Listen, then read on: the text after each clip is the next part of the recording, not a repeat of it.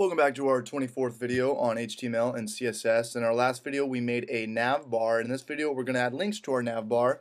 So let's go ahead and open up our HTML index.html file and even though we don't have other web pages right now, remember we're using this web page as our template for our future web pages to come. So let's go ahead and just add the links in now. So for our, okay so we're going to add our link in between our list items right here, before right here, and then we're going to close it out right here. So get the a href out. Uh-oh, I can't spell again. And we're, what is this file? This is index.html.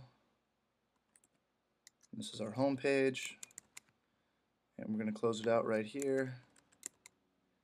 That should work. And then for our services page that we have not created yet, we're going to go ahead and call it, when we do create it, we'll, we'll just call it services.html close quotes, close tag, close it over here.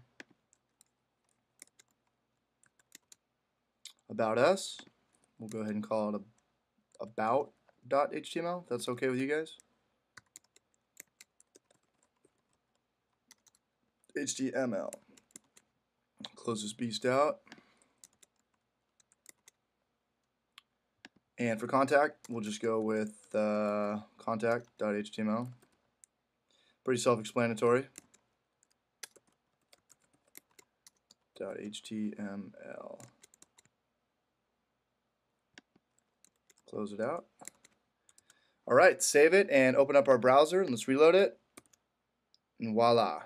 So this is already purple because I already visited this one. So this is what the link is going to look like. It's going to be this purple color. But if it has not been visited, it's going to be this blue color and this is starting to look pretty good. So thanks for watching this video. Subscribe to my channel, and I'll see you guys in the next one.